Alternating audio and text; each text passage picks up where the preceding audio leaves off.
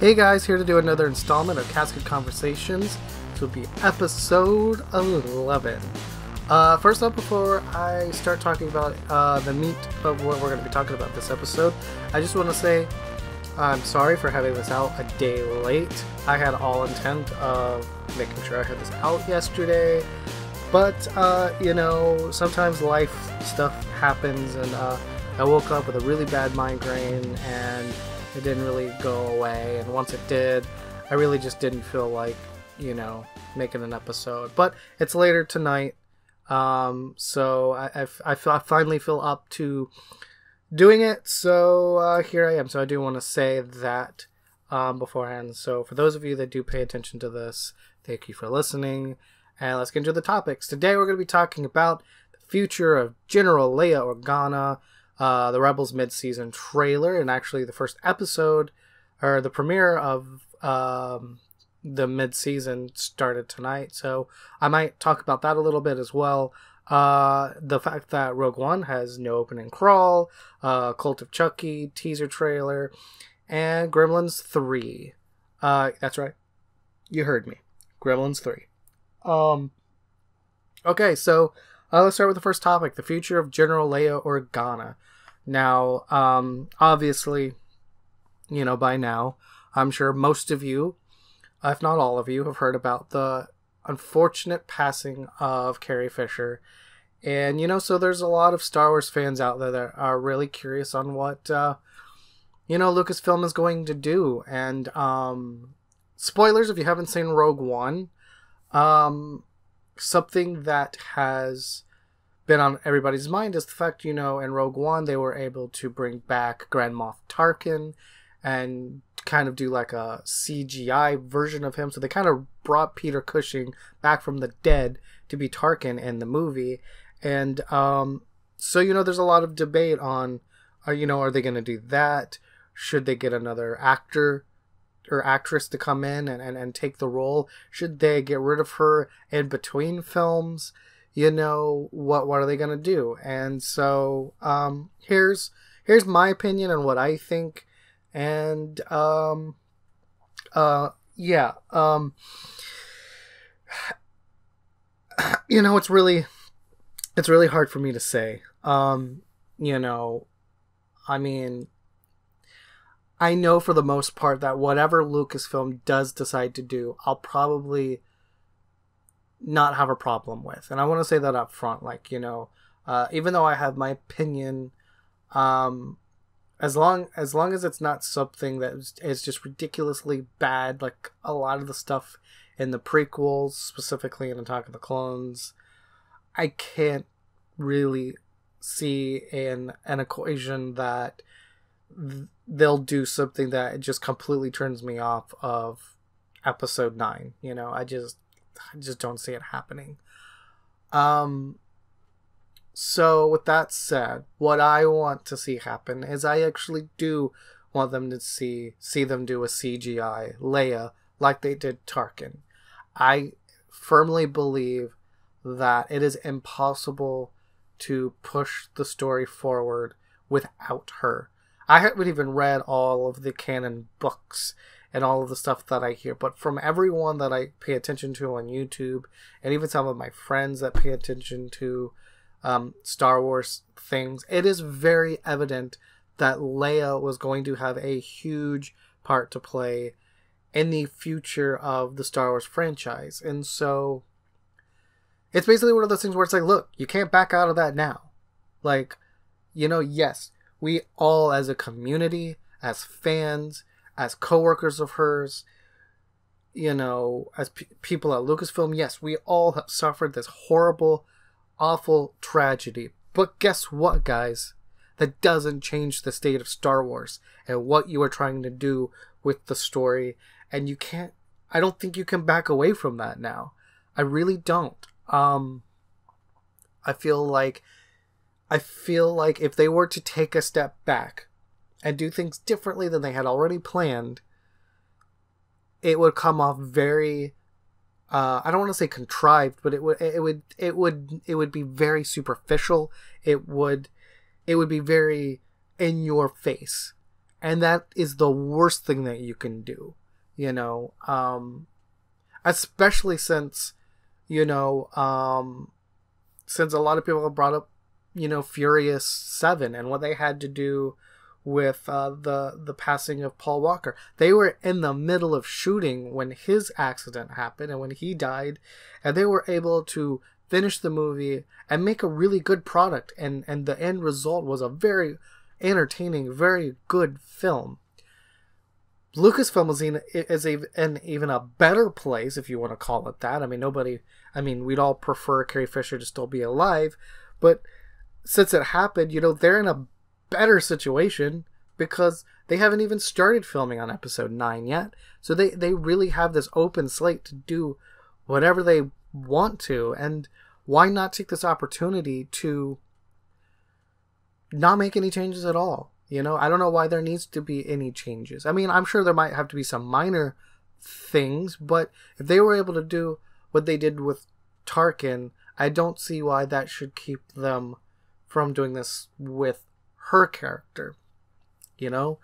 Um because look, and this is why I say this. And and I know there's a lot of people out there that do not want to CGI Leia. But hear me out on this. Okay? And I'm going to be blunt and I might even be a little mean when I say this. But here's the only other two options. One, you kill her off screen, and I swear to God, if they kill her off off screen and all we get is either a little fucking paragraph in the opening crawl or opening the movie with her funeral, I'm going to be pissed the fuck off. Because you do not do that to a central character of Star Wars like Leia. You don't do that. You know, now if, if it was a side character, if it was a minor character, that would be different. But you do not do this with Leia, especially with what she means to the franchise. Okay? So, you know, what are you supposed to do?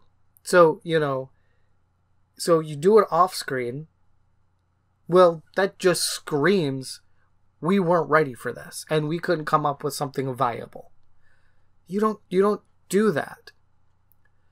Or you recast. And guess what? That doesn't work either because you know what made Leia Leia was Carrie Fisher. It was her. From day one in the original Star Wars all the way up until now. It was Carrie. Carrie is synonymous with Leia. She made that character. You take her out of that, and it doesn't work. Now, they're gonna have to get past the voice you know, maybe there's a good enough voice actor out there, or maybe with technology and such, they're able to recreate her voice, and so she'll sound like Carrie Fisher. But, I mean, I think they need to do CG. They need to get a body double, and they need to put, they need to do the same thing they did with Tarkin.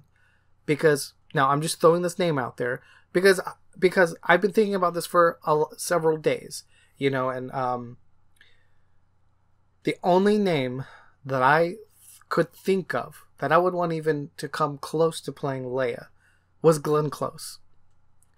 If Lucasfilm announced that they were able to get Glenn Close to pick up Leia for the for episode 9, I still wouldn't love it. But you know, it'd be like, okay, because Glenn Close is amazing. She's got that spunky attitude that Carrie has. You know, she's she's older. You know, she's got the same body type. She's, you know, and I'm just being realistic with that. That's not me judging or anything like that. But there's a lot of similarities there. So there's that. But other than her, unless you go with a complete unknown, who could you possibly get to replace Carrie Fisher? You just can't. The best bet. And it sucks that we're in this position, but the best bet is having a CG Leia for episode 9 because it's going to be so god awfully apparent if they do anything else, you know.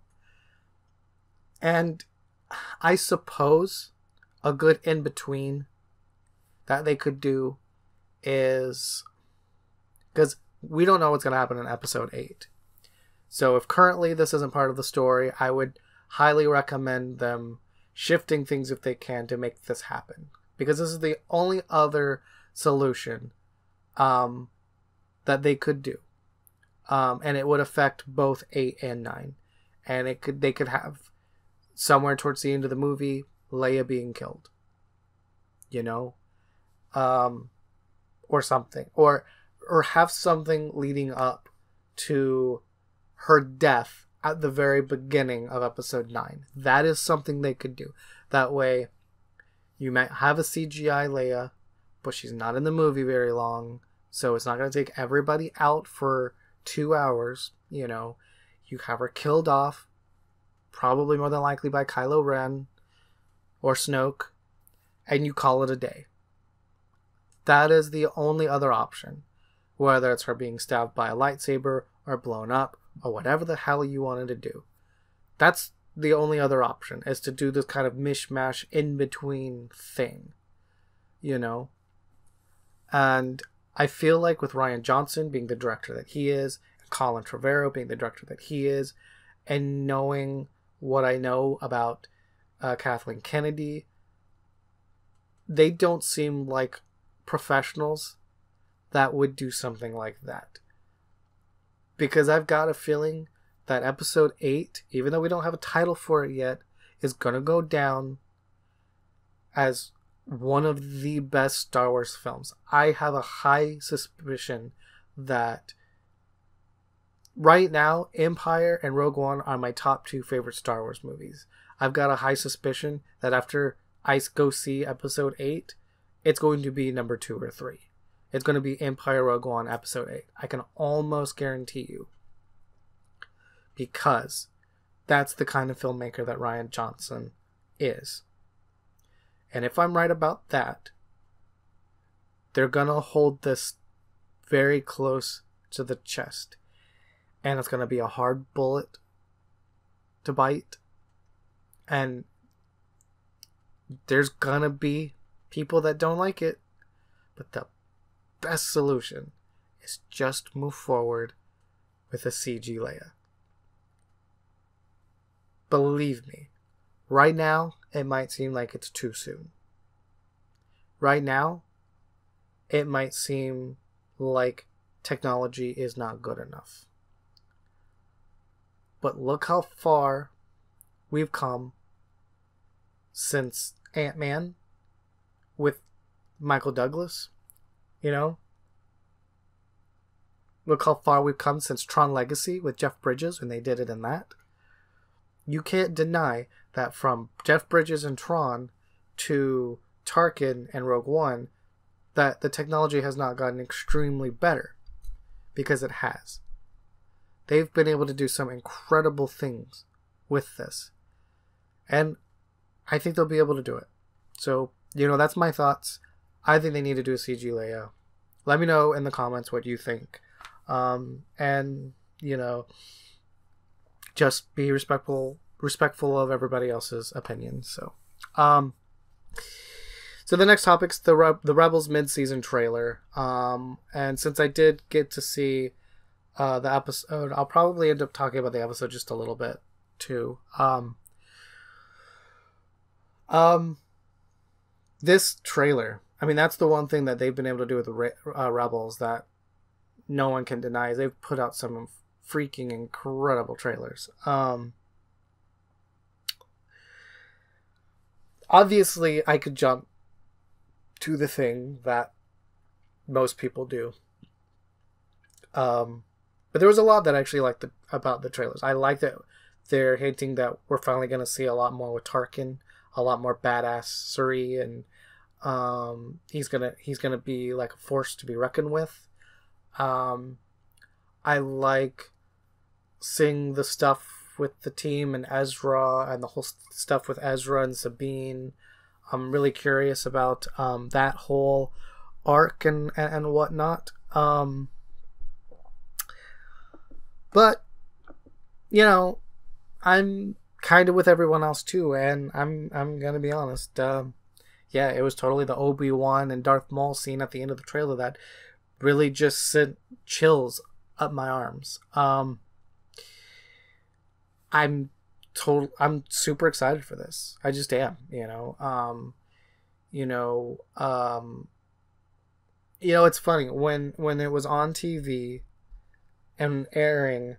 While I enjoyed Clone Wars, I only really paid attention to it during like the first and maybe second season, and because of other shows being on and um, other life thing things, I didn't really pay much attention to it. Um, I think maybe because of uh, work and stuff, you know, it, it just wasn't something that uh, that I really um, yeah paid attention to. But um, you know, I finally went back and I watched all of Clone Wars all the way through chronologically. And yeah, the first season is horrible because there's so much filler and God, the Jar Jar episode. That's all I need to say. So, you know, when stuff started coming out about Rebels, while I was excited about it, I gotta be honest, I, I was kind of worried we were gonna get, you know, another clone, Clone Wars. And at that time, I had yet to finish all of Clone Wars. Um, so, um, I made it through Clone Wars, and I freaking love Clone Wars. Um, Ahsoka is by far one of my favorite Star Wars characters now, and I, um, I didn't watch Rebels until season two had already started. Um, and I binged watched the whole first season and the first half of season two, and I'm I'm in love with the show now. I mean, I went and bought uh, the other day. You know, I posted on my Instagram.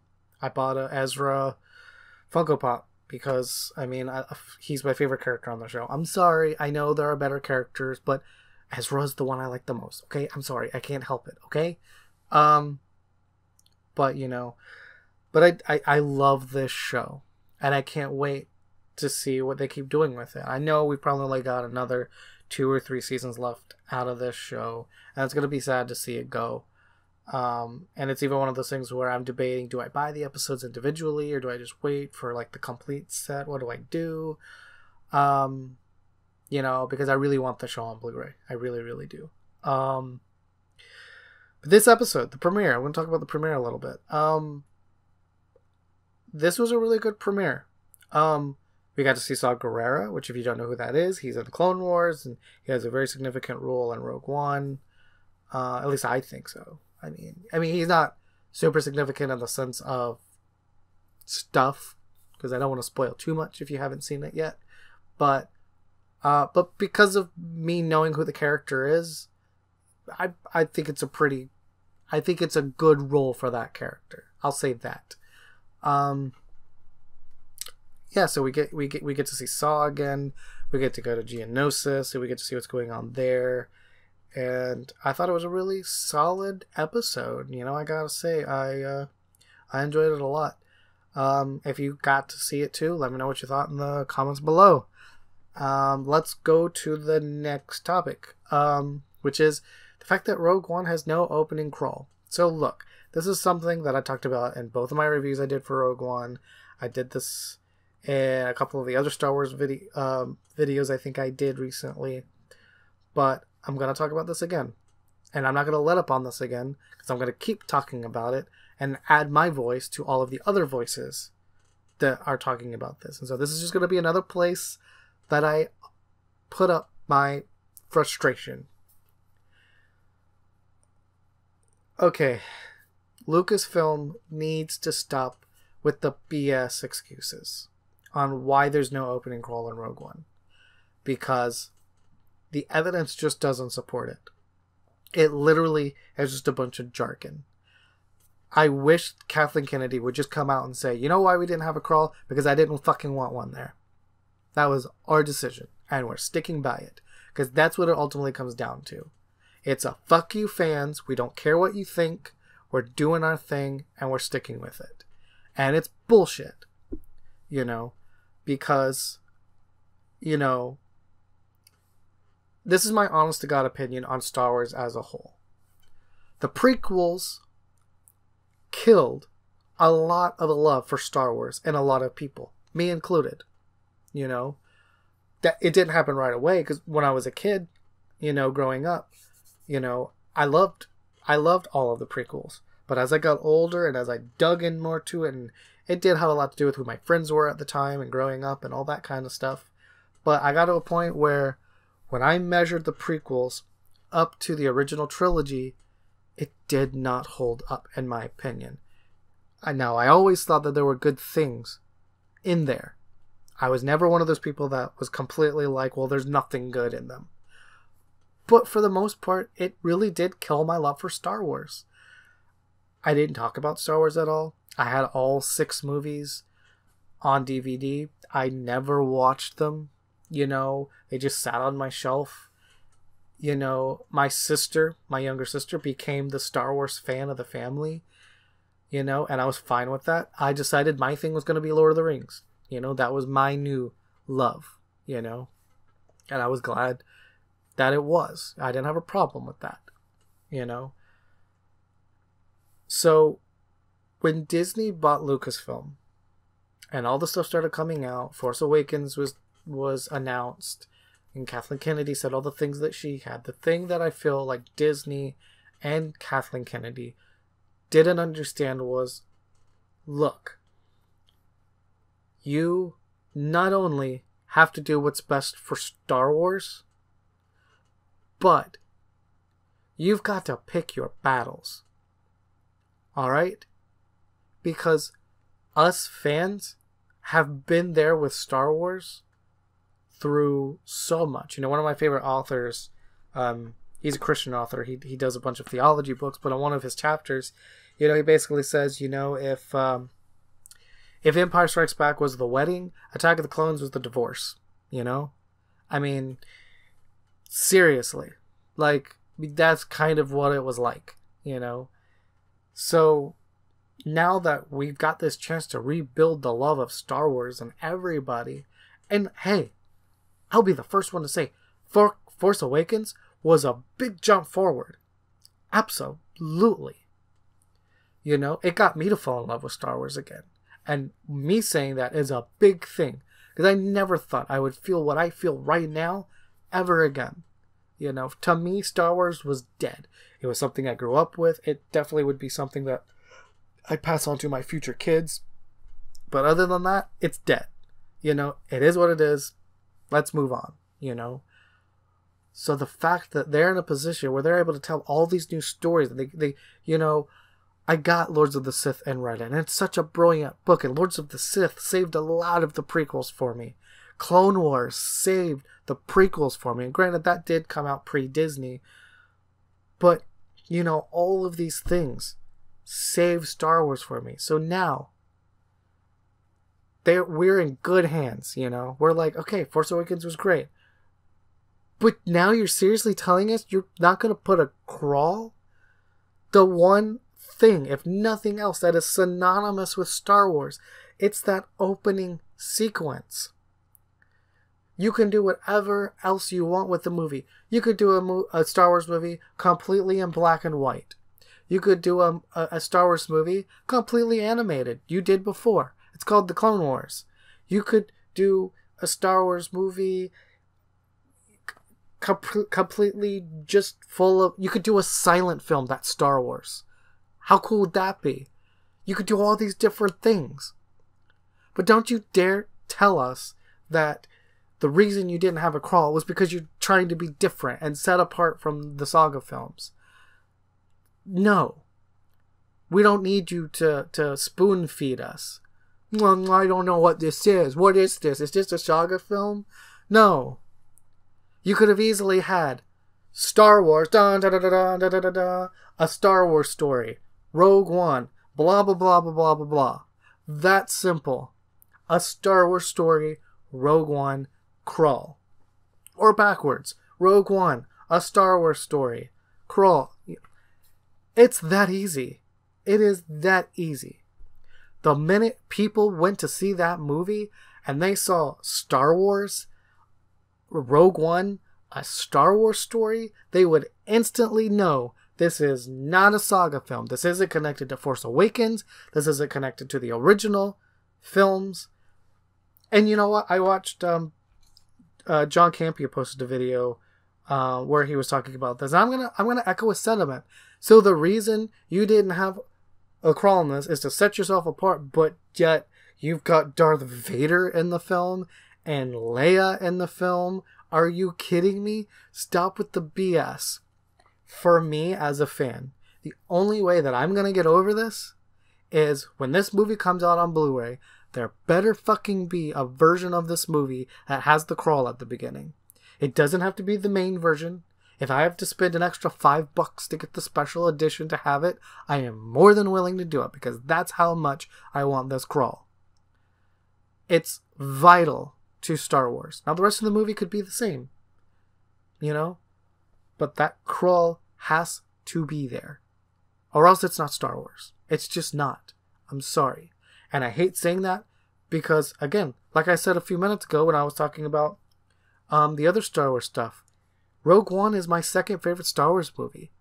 That's a big deal. The movie is brilliant. You know? But I can't let this go. You know? I cannot let this go. Because they can't. Lucasfilm can't get away with this. It's it's not right. It's not okay. You know? I can honestly tell you that I would rather have another set of three prequels than have a Star Wars movie without a crawl. I would rather than put out shit films. You know, but have the aesthetic, have the you know, have the story because at the end of the day it's still Star Wars. But this this what is this? I mean, Universal this is like what it would have looked like if, if another company put out a Star Wars movie. Like if this was Fox. This sounds like something Fox would do. Or better yet, this sounds like something Warner Brothers would do. Do you really want Lucasfilm to be synonymous with fucking Warner Brothers after all the shit they've done to their movies? I don't think that you do. Seriously, I don't think you do. And I'm just going to leave it there. Please, Lucasfilm. Please, for the love of God. You know how passionate Star Wars fans are. You see how we've had these creators that have done this de- despecialized versions of the film. And so beautifully, I've got to say, too. I really want to get my hands on them for um, some friends of mine. Um, because I actually don't mind the special edition, so I wouldn't get it for me. But um, I, I, I wish I could get my hands on it because I actually have purchased a copy. Um, so I've got um, so uh, I haven't figured out how to exactly to go through all of that and do it. Um, but but you know you see how passionate Star Wars fans are. The fact that they go through all of this labor and work to return Star Wars to what it originally was when it was released. Believe you me, this is a way. Because guess what? Two, three, four, five bucks is a lot of money when we're talking about millions of fans or thousands of fans, you know? This is Star Wars. And I'm telling you, Lucasfilm's choices is this. They can either fix this for us fans. And and they can milk it. Like I said, they can have two different versions of the film. They could have the fan edit of the film and the version that was released in theaters. I'm okay with that. I'm okay with owning both versions. And I will spend the extra $5. Or they could just release the one that they already released, and I promise you, some fan someday is going to take it upon themselves to fix it. And when they do, people like me will gladly show support for what they do. And that's all I'm going to say. That's the last thing I'm going to say. Um, so the last two topics, I'm not really going to talk a whole lot about. Um, but I did want to bring them up because I do enjoy these franchises. Uh, the next one is the the cult of Ch- the cult of Chucky teaser announcement. Um, so yeah, there's going to be another Chucky movie. Um, you know, I actually hold a really special place in my heart for for Chucky because as a kid growing up, me and my sisters had a bunch of dolls and stuff growing up, and Chucky scared the fuck out of me. I'm just gonna say it. He did. He scared the fuck out of me. And um, once I got older, probably say 19 or so, um, I grew to love Chucky. Um, I really appreciated the humor and what the character was. And um, I actually, my favorite Chucky movie is not one of the original three. My favorite Chucky movie is Seed of Chucky. That movie makes me laugh so hard. I love the jokes of the movie. It puts a smile on my face every time I watch it. It's so much fun. I love the character. And I thought Curse of Chucky was really, really good too. Um, so I'm I'm excited for this. I really like. I'm really excited for Cult of Chucky, and um, that's another uh, franchise that I really need to get on Blu-ray because I haven't bought bought any of them. Um, Seed of Chucky is the only one I have, and it's on DVD, and so I could definitely use an upgrade, so to speak. Um, so yeah, let me know what you think of Chucky down below. I re- I really enjoy him. Um, but now I get to talk about something I enjoy even more than Chucky, which is Gremlins. Ah, Gremlins 3. Are you kidding me? Are you kidding me? And that's not out of anger. Well, a little bit, but not for what you think. Here's the deal. For years now, since I was a teenager, there have been rumors about them doing a Gremlins 3, okay? I am 27 years old. And they're going to bring this shit out of the dirt and they're going to tease us again?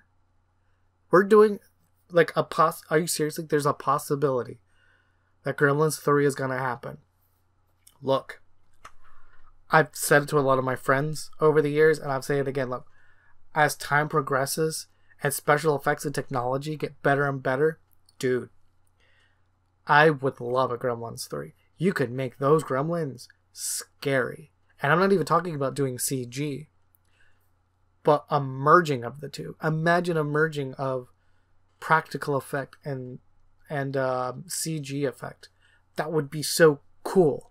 And what they could do with Gizmo, I mean, they could make Gizmo look so lifelike and so real. I mean, look at what Disney was able to do with Jungle Book and how realistic those animals looked. Can you imagine Gizmo? Oh my god. Just that would be so cool. Um, so yeah, I'm excited. I mean, I, I you know, um, if you look in, if you look, if you search it in Google, Gremlins three, um, 2017, um, and then after you click enter or actually search it, click on the news, and there'll be like five, six things that pop up there between the end of uh, December and, and now of articles talking about it. Um, I can't remember which source was the earliest one, but they all basically talk about the same thing. Um, and basically, Zach Gillig, um, Gall- Gallagher, Galligan, whatever the fuck his name is, but the, the dude who played Billy in Gremlins did an interview and um, talked about that they're still they're still trying to make it work. And now, granted, he's just an actor. Um, so what does he know?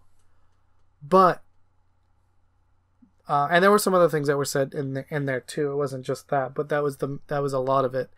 Um, but I, I you know, I gotta say, I, like I said, I would be ecstatic for a Gremlins three because those movies hold such a dear place in my heart. I love those movies. So yeah, guys, um, this is the 11th installment of Casket Conversations. Um, I appreciate you listening. Um, and let me know what you think in the comments below about all these different topics, you know. Um, you know, there, the, these were some, uh, these are some fun ones for me to talk about, especially fact that it's basically uh, a Star Wars episode again. Um, uh, I'm trying to think if there's anything that I need to announce. Um, I will say, if you haven't gone and checked out my website, the link will be in the description. Go and check it out. Show it some love. I'm going to be doing Um, over time, I'm going to be doing a lot more stuff over there. Um, right now, I'm linking it, linking a lot of my YouTube stuff over there. I've got a page on the site for Casket Conversations, you know, uh, but I will be doing site content only. Um, so if you're interested in that, um, I'm trying to decide on what kind of stuff I want to do on there and stuff. So you have, if you have any suggestions or things you would like to see, let me know because I might actually implement them. Um, but uh, other than that, guys, you can follow me on Twitter and Instagram, on YouTube, and um, um, yeah, guys, um, I will see you guys in the next episode. Peace out.